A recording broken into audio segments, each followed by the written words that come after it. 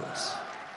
Tüm dünyada olduğu gibi ülkemizde de salgın şartlarının insanımızı çeşitli sıkıntılarla karşı karşıya bıraktığını biliyoruz.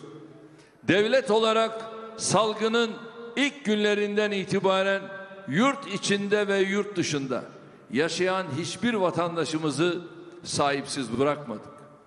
Şu anda aşılamada 5 milyon 200 bini hamdolsun bulduk.